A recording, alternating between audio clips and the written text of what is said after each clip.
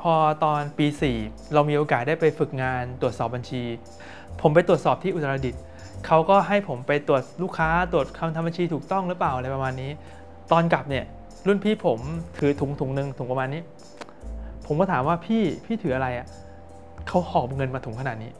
หอบเงินมาขนาดนี้ ผมเลยรู้ว่านี่แหละ CPA อาชีพในฝันผมทำเงินได้ขนาดนี้ผมต้องเอาอาชีพนี้เท่านั้น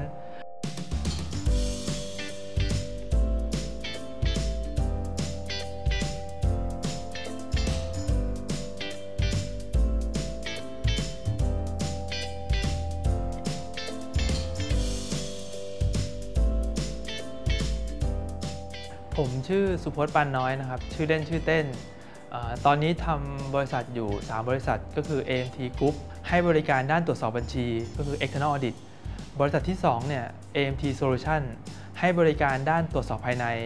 ก็คือ Internal Audit ธุรกิจที่3เนี่ยที่เพิ่งเปิดล่าสุดก็คือ AMT Capital เป็น Non Banking ให้บริการเกี่ยวกับเงินทุน เกี่ยวกับการสามารถปล่อยสินเชื่อให้กับบุคคลรายย่อยได้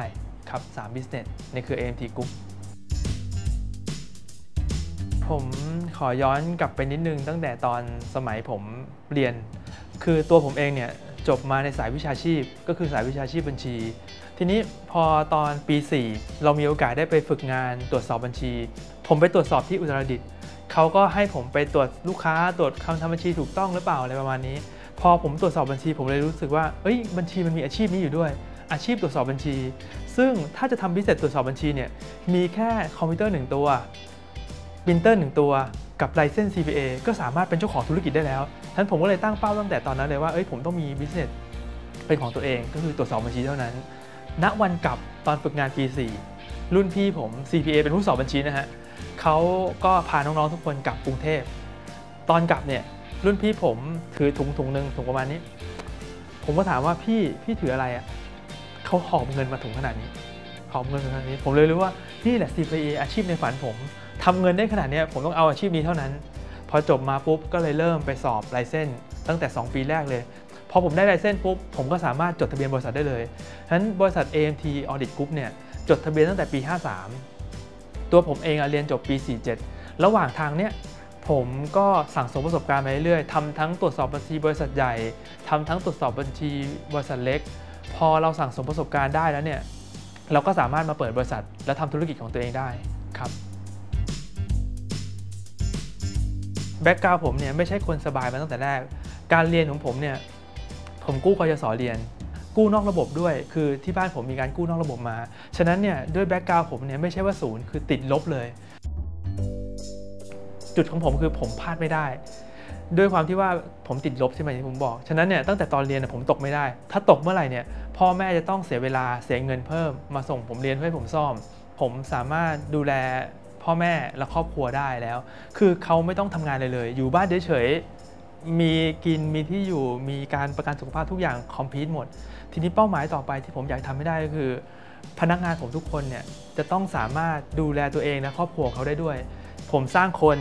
สร้างระบบ เพื่อให้ทีมงานผมเนี่ยสามารถต่อยอดธุรกิจได้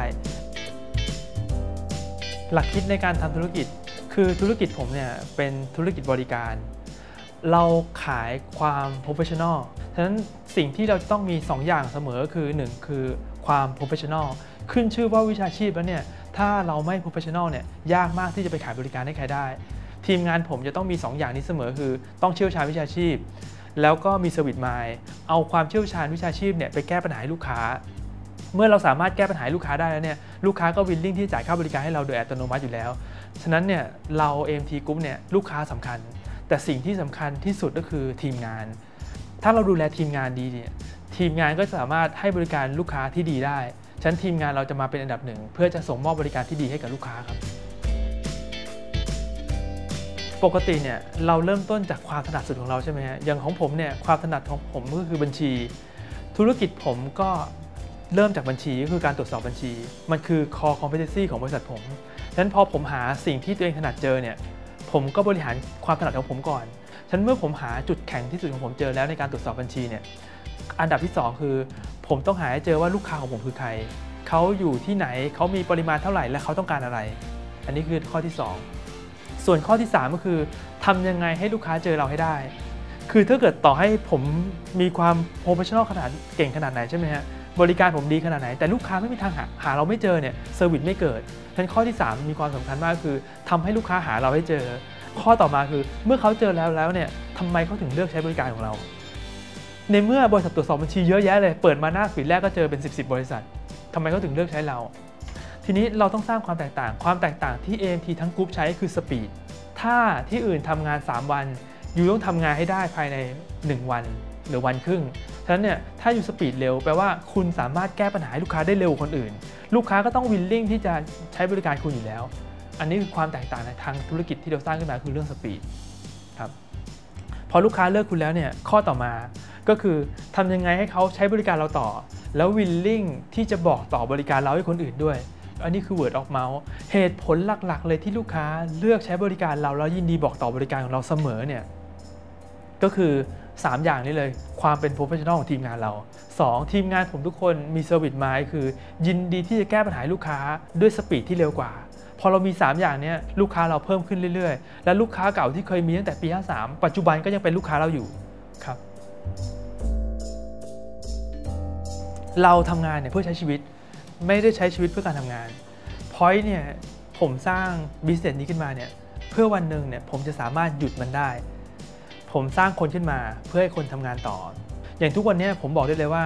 ผม fade ตัวเองออกจาก business ได้เกิน 50%แล้ว เพราะผมมีทีมงานที่ดี อันนี้คือแนวทางที่ที่ผมใช้มาตลอดในการในการดำเนินชีวิตของผมก็คือทำงานเพื่อวันหนึ่งจะสามารถหยุดมันได้ ไปทำสิ่งที่ตัวเองชอบคำถามที่ต้องถามกับตัวเองคือ อะไรที่ต่อให้ไม่ได้เงิน คุณก็วิลลิ่งที่จะทำมัน อันนั้นแหละคือความหมายของชีวิตในการที่เราจะทำมัน เป็นโชคดีของผม ที่ผมคิดว่าตัวเองโชคดีเรื่องนี้มาตลอดคือ เราได้คนที่ดีมาทำงานกับเรา เรื่องนี้ผมผมรู้สึกผมปลื้มมากเลยนะ ทีมงานที่เข้ามาทำงานกับผมทุกคนเนี่ยเป็นคนดีหมดโอเค ผมสัมภาษณ์แต่ผมสัมภาษณ์คนน้อยมาก มหาลัยผมไม่ดูเลย เกรดผมไม่ดูเลย บางคนเนี่ยส่งรายละเอียด detail มาให้ผมใช่ไหมผมแทบจะไม่อ่านแต่ผมก็คุยกับเขาว่าเนี่ยผมทำงานแบบนี้อยากทำงานกับผมไหมถ้าอยากงานมาลองดู สิ่งเดียวที่ผมสนใจที่สุดคือ you มีความมุ่งมั่นพอไหมที่จะทำงานในวิชาชีพนี้ ผมมีเทคนิคอยู่3ข้อแล้วผมทำมันอยู่ตลอด ข้อแรกก็คือโฟกัสโฟกัสแบบชัดชัดแล้วก็เคลียร์ด้วยนะฮะคุณอยากจะได้อะไรได้ยังไงได้เมื่อไหร่ เห็นภาพนี้ให้ชัดให้เคลียร์ที่สุด ถ้าไม่เคลียร์คือไม่ได้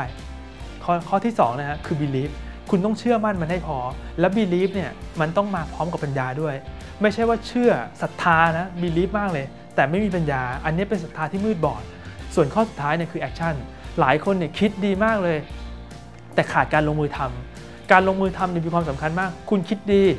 เชื่อมั่น แต่ไม่ลงทำผลคือศูนย์นะครับ ผลคือศูนย์ต่อให้คุณไม่คิดคุณ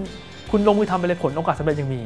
ถ้าคุณทำตาม 3 ข้อนี้ผมค่อนข้างมั่นใจเลยจากประสบการณ์ที่ผ่านมาของผมเนี่ยอยู่ success ในวิชาชีพ อยู่ success ในบริษัทที่คุณทำแน่นอน คือผมเนี่ยตั้งคำถามกับตัวเองมาเสมอว่า เอ๊ะทำยังไงทำทำไม เพราะอะไรคำถามที่ผมตั้งกับตัวเองมาตั้งแต่ป .4 เลยนะ เกิดมาทำไม ผมตั้งมันเกิดมาทำไมวะมีคำหนึ่งที่ผมใช้กับตัวเองตลอดก็คือ เป็นคำของท่านพุทธทาสคำว่าสัพเพธรรมานารังอภินิเวสายะคำนี้แปลว่า สิ่งทั้งปวงเนี่ยล้วนแล้วแต่ไม่ควรเป็นไปเพื่อความยึดมั่นถือมั่น คือผมมีทรัพย์จริง ถ้าผมยึดกับมันผมก็เป็นทุกข์ผมมีงานผมยึดกับมันก็เป็นทุกข์ถ้าคุณจะใช้ชีวิตด้วยการมีความทุกข์อะจงอย่าใช้ชีวิตเลย มันไม่มีประโยชน์ มีเงินมากมายมีทุกข์ก็ไม่มีประโยชน์ ฉะนั้นสาระสำคัญจริงๆที่ผมใช้เสมอก็คือ ผมต้องหลุดจากเรื่องทุกข์พวกนี้ไปให้ได้ พวกเราเองทีกรุ๊ปเฮ้